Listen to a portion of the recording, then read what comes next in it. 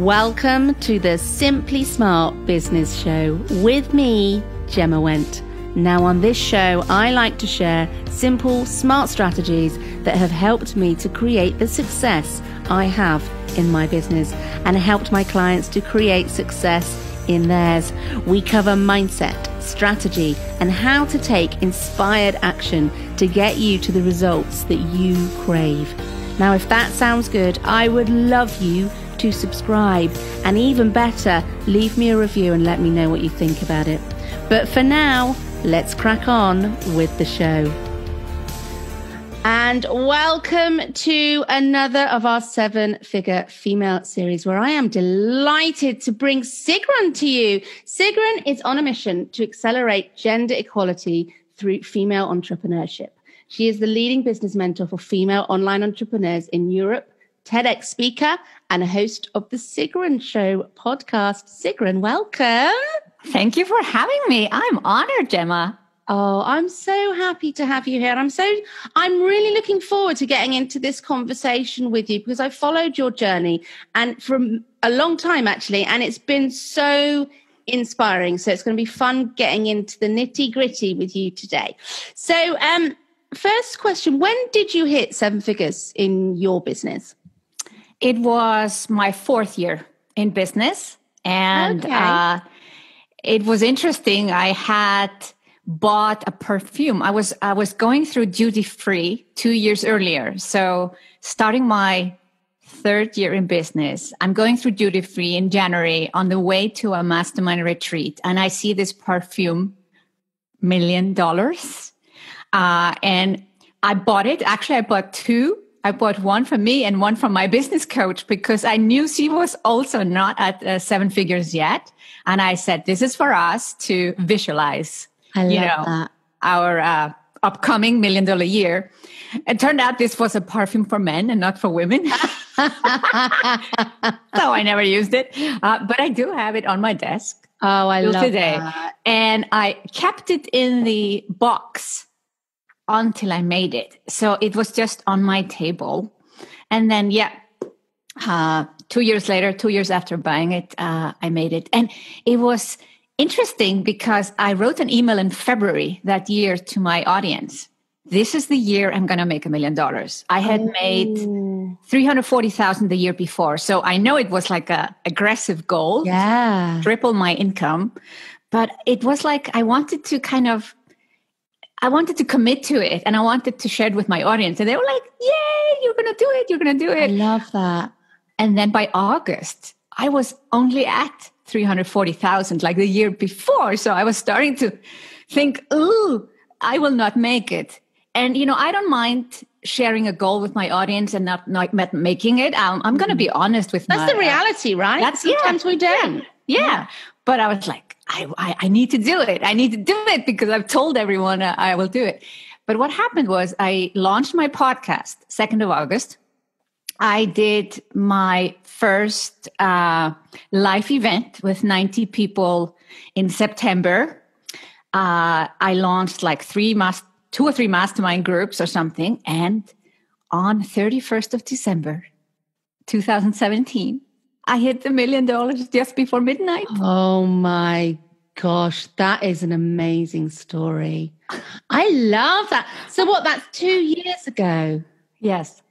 Amazing. Oh, congratulations. What a fantastic story. There are so many lessons in there for people, right? So many lessons about not giving up, sharing your goals, that kind of accountability once you've shared it with other people. I love that. I love that. Um, so how was your 2019 then? What were your figures for 2019? So 2018 was 1.5 million. I had the idea I could just double my million, but that is a little bit harder, I have to admit. So, but uh, last year, uh, 2019, it was 2.2. So Amazing. It has still been a aggressive growth. And we do have some growth pains, to be honest. Like, mm. you know, building out the team, I had a lot of resistance uh, I used to, I was a CEO for 10 years before I started this mm. business. I was actually a turnaround CEO, uh, you know, fixing distressed companies. And I got used to firing people and hiring people. And I don't know. I had a huge resistance in my own business to build a larger team. Mm. And I was trying to go on with super small team.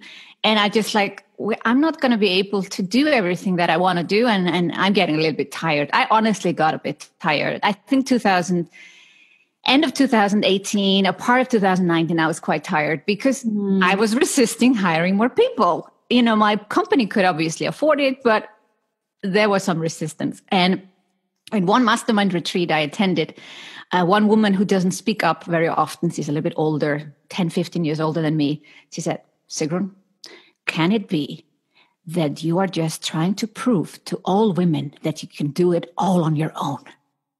Oh, wow. And I was like, oh, maybe that's it. Oh, wow. So what happened after that? I went on a hiring spree. I, I, I, I, I, don't know. I think I tripled, uh, you know, uh, some are employees, some are contractors, depends. I'm based in Switzerland. Yeah. I prefer not to hire in Switzerland uh, because of the salaries here being so high. Mm. but my, my, my employees and contractors are all over the place. And uh, we are about 15 people on my team uh, and then some additional contractors. Mm. But yeah, that there was this crazy resistance to to uh, getting more people on board, and it changes a lot because you go from actually be an entrepreneur to CEO. And I yeah. think a lot of people don't realize this. That's what, how big that shift is. It's yeah. so easy to just say, Oh, can you do this for me? Can you do this for me? Can you do this for me? And suddenly you have a company and you have to have management roles and you have to tell them what they should do for you or what the vision of the company is and, and then, then, you have to leave them to manage it and not not get involved. I know. And and the funny thing is, I, I used to do this, you know, yeah. 10 years ago, I, I used to do this. And I'm like, oh, it's so hard to go back and forth. You go yeah. back to being, you know, into every little tiny task. And then you go back up like, oh, I shouldn't be involved in every little tiny task. But it's also hard when you're a personal brand and yeah. it matters what you put out, the copy, the images, the videos it, it's not the same as as just running somebody's company and it doesn't matter if the the ad looks this way. No, it's your face on there, and also it's your baby, isn't it? There's, it is so attached to your business when it is a personal brand and when it's your own. It's a different yeah. feeling altogether, completely yeah. different. I love that you shared that. I, do you know what I've had? I've had those kind of um, growing pains as well, and it's it's interesting those stories that crop up, and you have no idea that they're there.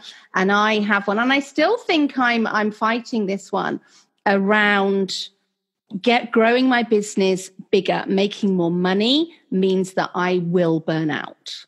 And I have this absolute belief that it will absolutely happen. And I've I'm sort of been navigating that over the, over the last year. But these things crop up as we grow, right? Yeah.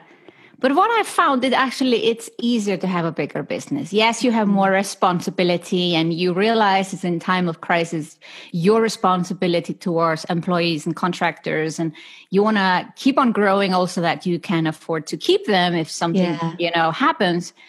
But honestly, it is easier when you don't have to do every little detail and yeah. things that you're not even that good at. Yeah. And you have others who are better at it. And uh, I think it was the shift of, you know, going to six figures. That was a milestone, but the, the million dollars were, it was such a, I think it was an emotional milestone more than mm. financial. It was some kind of like, hey, I, I, did it. I made it. I, I yeah. have shown women that they can do it too. Yeah, yeah, and that's you're you're a big lighthouse for that, right? Yeah, that's that's part, a massive part of your brand, showing women what they can do. So I imagine that that was a huge milestone for you. Um, let's go back then to 2019. So what are you selling to create that revenue? What what do your revenue streams look like? So uh, my signature program is Somba, Sigrun's Online MBA. Uh, it's a 12 month program. And it was born from the fact that I did I did 100 webinars first. I remember those. With, you know, and no webinar was the same. So 100 different topics. Yeah. And once I'd done that, I got very tired of doing all the webinars. I realized I had like a massive library. Mm. So from there, uh, it was actually also in 2017, my million dollar year, mm. where in January I launched Somba. And I had been really like, where is my signature program? Why don't I have one? Uh, and I realized there was gold in my webinars, but I had to put them together differently. I had to actually create modules and worksheets and, you know, make it more digestible and step by step process. Uh, so I launched that in 2017. So not, not so old. And then I stopped selling, uh, cheaper programs. I had for a while a program called Passionathon, how to find your true passion and the right business idea. I never really gave it the love it needed in terms of launching.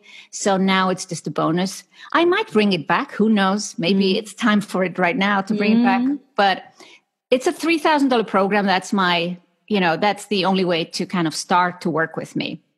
And then from there, uh, people join a group coaching program called Momentum also 12 months. There I have multiple coaches. Uh, there's a call at least once a week with a coach.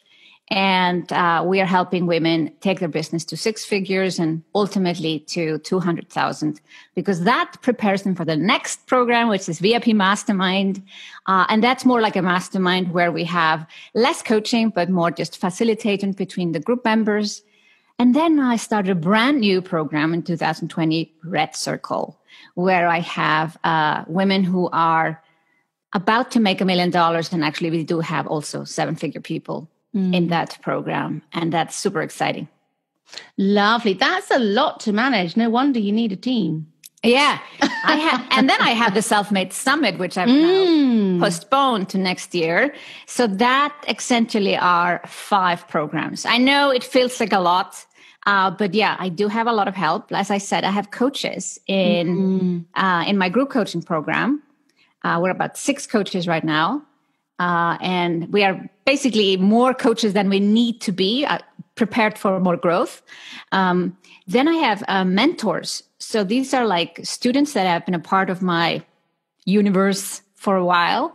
And initially they volunteered and now I pay them. So I have like 10 of those in my Somba program. Uh, then I have a coach also in Somba to help me kickstart everything the first 10 weeks when they join. Um, yeah, so basically I have a lot of help now, yeah. but people still feel my presence in every program. I yeah. never want to be the person that sells you something and then runs off with your money and yeah. disappears. No. Yeah. I love that. Thank you so much. Um, that's really interesting. Uh, things really shifted for me actually when I started to bring other coaches in.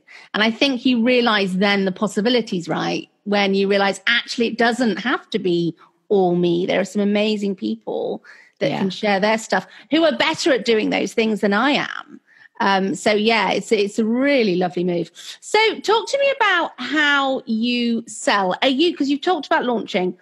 are you all in on launching or do you have funnels running as well like what does that your sort of your marketing engine look like so i launch Somba, uh, and we typically launch it twice a year we actually launched it three times last year but that was not necessarily better to be really mm-hmm. honest uh, i think you actually uh, what do you call when you ruin your own thing uh, oh yeah yeah yeah the word uh, yeah, I, am looking for that particular yeah. word. I, I, can't think of it. I think it's, we might get to it in a minute. Yeah.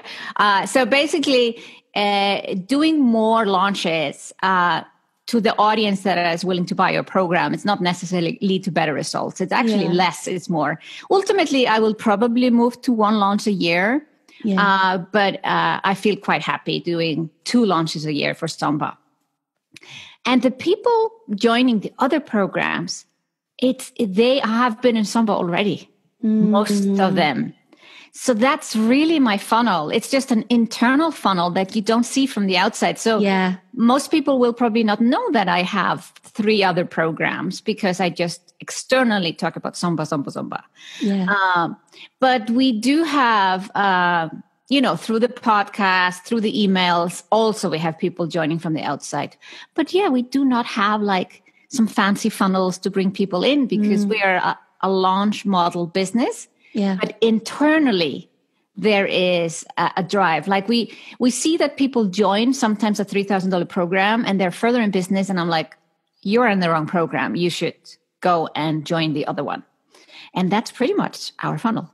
I love that. That's a really nice structure. It's a really nice structure because as well, you know, once once they move from Somba into momentum, you've already got a really good relationship. Yeah. You already know those guys. So it's easier taking them to that next level because you know the connection, you have the connection, you know what they need next. So it makes absolute sense. It's just a language, you know. Uh, also, if they need some help, I was like, yeah, you find that in module five. And, mm. you know, it's like this it, it makes a lot of things uh, easier. But yeah, we are are running ads right now to people go directly into momentum because we mm. feel we have the capacity. As I said, I hired coaches like you yeah, experienced yeah. too. There was a resistance to that too. Yeah. You know, yeah. oh, only I can do it and people are wanting me. And I was, you know, doing so many calls and I was like, oh, getting a little bit exhausted. Mm. Uh, and I started with internal team members so that felt a little bit easier because we just like had an agreement, you know, and I didn't have to necessarily pay them more. We just shifted some tasks around and then two team members started to coach. And I realized, oh, that's great. And uh, it took me a while until I actually hired external coaches. And I started also with some people that actually had been clients. So I knew them very well. So we haven't actually hired anyone yet that's not been a team member or a previous client as a coach but just to give people some ideas where you can find yeah. someone because you think you can't find someone and I'm like they are probably right there in front of you and you just don't see it until you suddenly see it Exactly. I did the same. Most of mine are ex clients who know my frameworks, know how I work, and I know and trust them. And that really helps with that process. So we've talked about team. I'd love to know what your team actually looks like, the kind of the support, admin side, operations. What does that look like for you? So my husband joined my team uh, when he lost his job. Uh, he had been working at Cisco Systems and lost his job end of 2016. I remember, yeah. Uh, so in 2017, he joined and uh, he started actually even before he lost his job. He's like, your email is a mess. You know, he was like looking at my email and said, what is wrong with this? Why are you not replying to these people? Or, or, you know, why haven't you archived old messages that you've read? And it really bothered him. So he had had a personal assistant himself at work. And I had never had one. Even if I was a CEO before, I had never had an executive or personal assistant. So he started helping me with email and calendar even before he officially, you know, quit his other job. Yeah. Uh, and he did that for a while. Also, my booking, my travel, and everything. Mm. Uh, but eventually, I hired finally last year an executive assistant. There was also resistance to that. Yeah. What should I ask this woman to do? and uh, you know, uh, people around me that have had executive assistants said, Sigrun, once you hire the person, you're going to give her so many tasks you just don't know. And I always find it hard to explain, but she is really very well, uh, you know, she's very busy. So yeah, so I have executive assistant. Uh, my husband is COO, so now he's not doing those, you know, executive assistant tasks anymore. But he's still kind of watching, making sure my travel is booked correctly, and so he's training the executive assistant. Uh, and but he does uh, pay our bills. He opens all mail, physical mail that mm-hmm. comes. Mm-hmm. Uh, he will, you know, interact with our accountant uh, and you know things in the background. He's actually the affiliate manager. So we ah. have affiliates for Somba and he manages that. He used to do channels for Cisco. So I'm like, oh, this is the perfect role for you. Yeah, perfect. Leaderboard and having them compete and stuff like that. Uh, and then I have uh, a launch manager. She's like online business manager slash launch manager. Lynn, she's been a part of my team uh, since May 2015. Oh, wow. Started with like two, three hours a week and now full time since a while. And for, for a long time, it was just me, Lynn, and Martin, you know, or even just me and Lynn. Like we were two people uh, running almost a seven figure business. Uh, but then I've hired now, I have a content writer, I have a copywriter, I have a social media manager, I have a podcast manager that also does video editing. And I just recently hired a, a project manager for media only. Mm. Uh, yeah. So not necessarily project manager for the whole business, but for media because I want to go all in on just video and media. And actually, yeah. I've been wanting to do that for a while. I just didn't feel I had the right team or something. And now I realized actually I, I need a project manager because it's not enough to hire the people who can do the video editing. Who's going to manage yeah. them? Yeah, so, exactly. Yeah. So that's we've kind of had to. We sometimes are hiring uh, first the people who actually do the work, and then I realized, oh, they need a manager. Uh, or you go the other way around. You hire a manager first, and then they can hire some people. So did I mention all the people I have? I don't think so. But yeah, yeah, content writer and copywriter. Yeah, these are two different tasks. Mm. So uh, yeah, explain that. That's interesting for people. Yeah. So uh, we decided. Uh, I I've done over 360 podcast episodes since I launched my podcast in August 2017, and we hired a show note writer very quickly. She's based in the US and just takes a fixed fee per episode.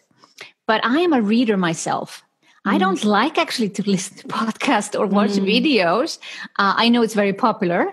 And if I go for a walk, yes, I will listen to a podcast, but otherwise I'm just at home. I, I don't commute, you know, and if I want some content, I want to read it. So we decided some months ago to actually not do the traditional show notes, the summaries, and write a proper blog post. Mm. So that means once I've uh, recorded a podcast episode, we have it transcribed by Rev Mm. Then it goes to the content writer and she writes a blog post. Mm. So a content writer is not someone that knows how to write copy that sells necessarily, but it's someone who knows how to blog.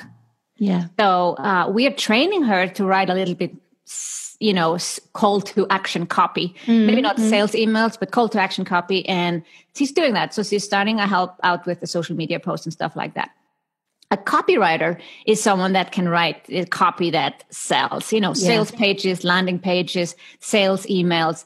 So these are two roles and they are not both not full time because for me essentially it would be ideal if this is one full time employee but it's just very different uh, capabilities. Mm, mm, no i love that distinction. Thank you for sharing that.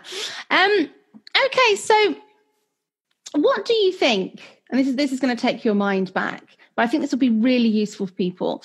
What do you think the key differences are in running a business that's at sort of the the six figure mark and the seven figure mark? Because that's a big jump, right? Yeah. I think the six figure one, it's it's you and maybe one VA. Mm. So you're pretty much doing everything and you're just it's task based, you know? Yeah. And at seven figures, you have to be willing. I know it's challenging for all of us. You have to be willing to create a management structure where you have uh, even more qualified people. You might actually have to get rid of everyone you work with before mm. and hire new people on your team. But you can also be lucky and someone is willing to grow into that role and actually start to manage people I think that will be the key differentiator in who you work with. My feeling is that I just do more and more of what I love mm. and less and less of things that, uh, you know, I don't love. But, you know, I actually love building a t- Typeform. and I, you know, so I have to, I have to sit on my hands if I have an idea. Oh, let's do a Typeform for that. I, I shouldn't even be thinking that way. Yeah. So I, I have to, I have to untrain myself basically to kind of like, okay, I have an executive assistant, I have a project manager. I have to just tell them what I want and I can still review it and send them back. And it is this patience of, yeah. of, uh, that things go a little bit slower. You feel they go a little bit slower, but yeah. it is for your own benefit. Although now, you know, when you go into a crisis mode, I used to be a turnaround CEO. Mm. So I am like a drill sergeant with my team now we have daily meetings. And I said, I want quick turnarounds. This yeah. is not like, you know, nobody's going to think about da da da da da. It's just like quack, quack. If I, yeah. if I want something done, I want it ready tomorrow. Yeah. That's not how you can operate a business for the long term. Mm. That's only for times of crisis. Yeah. That's really useful. Thank you. So what do you think then have been your, um, your biggest challenges as you've grown? And we've obviously spoken about team a lot, but have there been any other challenges that you've struggled with? Ah, money mindset. Mm. Uh, yeah, uh, that that hit me just after my first year. Uh, in my first year, I was like, didn't really know how to make money. Weirdly enough, I had been running companies before, but when it's different own, though, right? When it's your own, yeah, it's it's you. You have this like, oh, oh, can I really ask for this money? And da, da, da, yeah. all these thoughts come up. So you you kind of slowly get over it, and uh, but I, I, had a I had a breakthrough towards the fall of my first year. I hired a business coach for six weeks because mm-hmm. I I had built my list with those weekly webinars like massively. That was so easy back in the days. Facebook ads were so mm. cheap, and and people were so willing to sign up and attend webinars. Um, but then I was like, oh, I have an email list of 1500 people. Why am I not earning more money? And I realized I couldn't deal with it. I had to hire someone. Uh, now I would have joined a mastermind, but I didn't even know mm. they, they existed back then. And so within a few weeks, we got over that. Like, hey, you just have to make an offer and then you have to follow up on the offer. I'm like, oh, you have to follow up. Oh, it's like all these things are so obvious, but it's not obvious when you are in the middle of it. And you don't know what you don't know, do you, at that point? No. So I made $55,000 in three months towards end of my first year after making 20,000 the other nine months. Mm. So that imagine just like the feeling like, who am I to deserve all this yeah. money? Like, where is this coming from? Is this, is this a fluke? Is this just gone away? So obviously I made it go away because in January 2015, uh, I earned $1,700. Oh, wow. After 55,000 in three yeah. months. And it was purely my mindset there were people on my list. I was still doing webinars. I uh, would sometimes not advertise the webinars. I would sometimes not send out emails. I would not follow up with potential leads. It was purely in my head. Mm. And it was like, if you read The Big Leap, Yes, you know, love it. It's like, here are all the good stuff happening for me. Oh, I'm going to have some bad stuff happen for me. So I just made it happen. And that was a shock. That was a huge mm-hmm. shock to me. And uh, so I do recognize it moving forward when it happens. Uh, to be honest, with my conference, which, well, I luckily also uh, postponed and everything, but I realized doing something bigger than I had ever done before brings again up the what I call self sabotage, really. Yeah. Yeah, yeah. Yeah. So you, so let's say you ask someone to speak at your conference and you're like super happy they say yes but then you don't send out the contract to them. You don't tell them what to do so they can help you promote. You know what I mean? It was like yeah, all yeah. sorts. Of, I was doing all, even last year. Last yeah. year, this came up. So I think every time you just hit a new, well, a new level, a new devil. Exactly. Exactly. It's uh, yeah, they they stay, don't they? The thing is, they just they just manifest in different ways. Um, yeah. And we we all have them, right? We all have them. Um, what do you have specific sort of daily habits or processes or behaviors that really kind of help you with your focus and your and and help you create the success that you have? I don't have a morning routine. I love that. everybody everybody says like, "Oh, I journal, I meditate," and I'm like, I don't.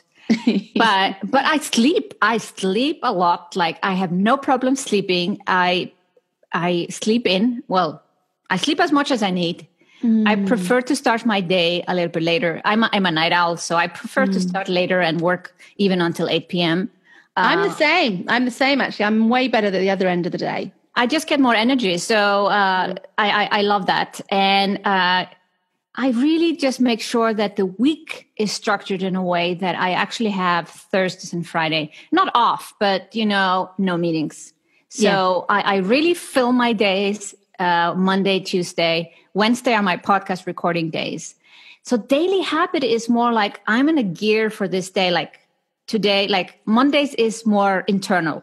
We have internal meetings, internal discussions. Tuesdays more external uh, coaching calls and podcasting on Wednesdays and Thursday and Friday should be kept free. Now, because we live in a crazy world, things change. But then I suddenly can have a virtual summit on a Friday or do something else on a Thursday because it wasn't booked up before. Yeah. And I also do not hesitate to actually, I didn't do this in the first years, but now if I'm not feeling like, if I'm feeling tired, it, it happens rarely, but let's say I just feel this, you know, tiredness coming over me for some reason. I will take a nap in the middle of the day. Mm. And I might say to my team, Oh, sorry, I can't make this meeting. Now, I'm the one, I'm super committed. If there's a meeting, I'll show up no matter what. But I am also willing to say, Hey, I'm not okay. And let's, can we, is it okay to move it around? You know? Yeah. I'm really, I listen to my body. So I don't think I need to meditate on journal for that. Mm. But I think these are good practices. And maybe yeah. one day, one day I'll, I'll finally do it. Uh, but I just take care of my sleep and make sure I get energy. I love that. Sleep is so important. I'm someone that does suffer from insomnia, so I I really prioritize sleep and rest. So I love that you've shared that. Um, is there anything that you have have really committed to being consistent in in your business to really help you to support yourself and to grow and, and whatever else? Yeah, so in the beginning, I tried to blog. Uh, mm. So that didn't work so well. Uh, I actually love to write when I get into it, but I find it very hard to sit down and do it. Uh, the webinars was a way for me because I had this idea when I did the Strength Finder test, consistency was low. And oh. I'm like, I'm like, oh, yeah, I'm think uh, in Myers Briggs, I'm also a P. Yeah. Uh, so I don't really like structure. I don't mm. like it. I mm. like that my days are all different and I don't like nine to five. I'm just like, you know, and, and, but I will be super committed. Like I did my 100 webinars. Mm. I did mm. them weekly for a long time. The final 20, uh, maybe not weekly anymore. I was getting yeah. tired. but now my podcast is out. You know, I did 100 episodes in 100 days. Then I did three a week. Uh, then we went down to two, and now we did we do one. Mm. Actually, but it gives me the flexibility to bring up and say, okay, I want to go back up to, you know, two a week mm. or three a week. And my podcast is out like clockwork. Mm. Now, that's got not like, you know, it's it's not a financial result, but it's still this discipline of we're going to make it happen no matter mm. what. Yeah. And I look at my numbers every uh, Monday I don't look at them daily. I know what's happening. Uh, but yeah, Monday I look at all numbers and, mm-hmm. you know, we have a scorecard with the team and, you know, and it's also in, in times like these where you have the opportunity to reinforce, like, you know, re- remind everyone what really matters and what we should be looking at.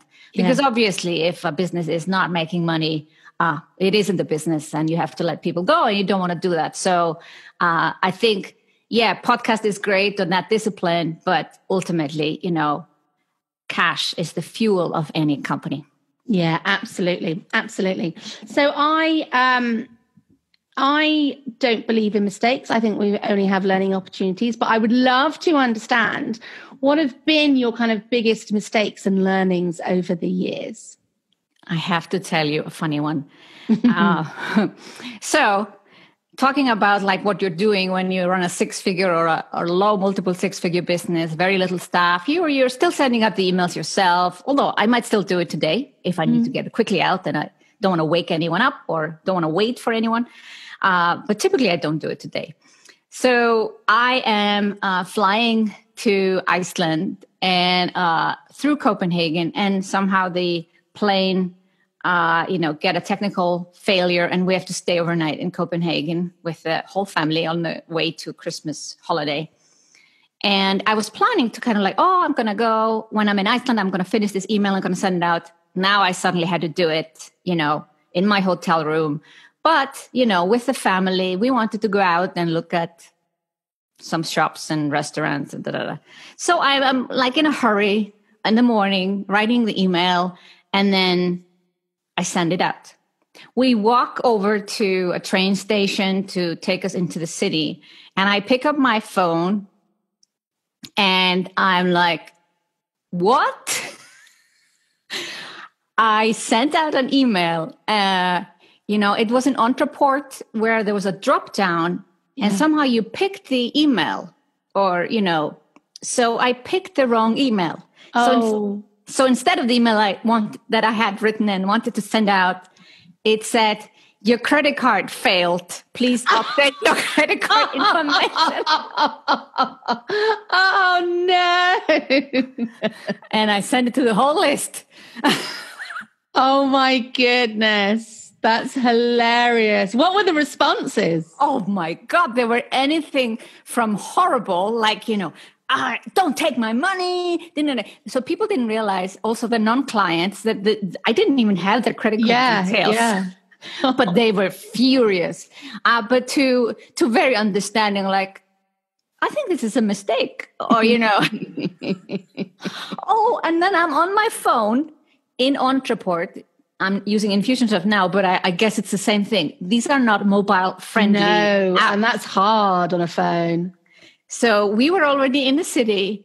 I'm on my phone, and you, you know when you have a drop down in a browser it, and it doesn't pick it doesn't pick you you move with the mouse or with the finger up and, and it it was so much work you know one thing was to write the email like you know i could quickly type up like sorry mistake uh, this was the wrong email da da da, please forgive me uh, but sending it out was so hard of because of the way the the, the software is set up oh my god that day like i was just sweating and uh, you know and half the day was ruined. Yeah, that was not a relaxing stopover. no, it wasn't. Because uh, on one hand, I was trying desperately to get out a second email, but then in my help desk, you know, and this was probably on a Friday or Saturday, you know, I don't think my team was awake. They're oh mostly, you know, God. they are in um, uh, East time zone. Oh my God, this was, but now I can laugh about it. Oh my gosh. Thank you for sharing that. That's hilarious. But I can imagine how that felt at the time. That that moment when you realize and your stomach flips. okay, so got two more things I would love to ask you. Um, what's one thing you know now that you wished you'd known sooner? I think I should have gotten help right mm-hmm. away. Um, I was thinking, oh, I've been a CEO before. I have a master's degree, you know, MBA. Um, I know how this works. And then I struggled for many months. Like it took me nine months to actually get some outside help. Mm-hmm. Now I had bought some online courses, but it, it wasn't I think most of us still need to be in a program or mastermind or or yeah. at least at least where you can ask a question. And I wasn't in a program where we could ask a question anymore because the six weeks or eight weeks were over. Mm. Um, so yeah, getting help and uh, this resistance to hiring people later on, like, oh my God, like I, I think I lost. Maybe you can't say you lost because you know my business was still growing. Yeah, but I think you know what the worst thing that can happen to us is that we just burn out because we have a lot of fun running our businesses. But if we have resistance to getting help, whether it's professional help in order to pick the right strategy or work on our mindset or, you know, hiring employees or contractors, I think these are the things where I wish I would have paid more attention to mm. earlier in my business. Uh, mm. I'm definitely paying attention to now. I actually do have a mindset coach. Mm. Um, and uh, that was something I thought, oh, why do I need that? uh, but I do think as you move along, uh, being in a mastermind is one thing. I love masterminds, and mm. I, I, you know, tell everyone to be in one. But I think uh, one mastermind will not give you everything. So you might yeah. have to hire additional professional help. Maybe it's someone that helps you with your finances. Maybe it's someone that helps you with your mindset. So it's it's it's not having a resistance also to actually just get help ask for help. And some of that help doesn't have to be paid. It could be mm. you know people around you that can help you. But yeah you want professional help. Mm. yeah absolutely. Couldn't agree more. Um all right. My final question for you. I would love you to leave a piece of advice for my listeners who do most I, I work with both men and women but they are mostly women who are around the sort of pre and post six figure mark, I would love you to leave a piece of advice for them. I think I just have to repeat hire hire help.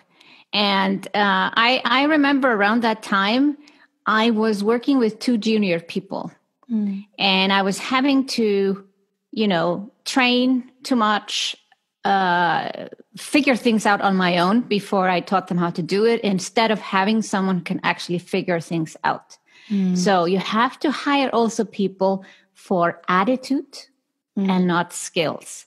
Uh, Lynn, who's been on my team since 2015, she knew nothing about Infusionsoft, for instance. She was an mm. Ontraport. I hired her because she knew Ontraport.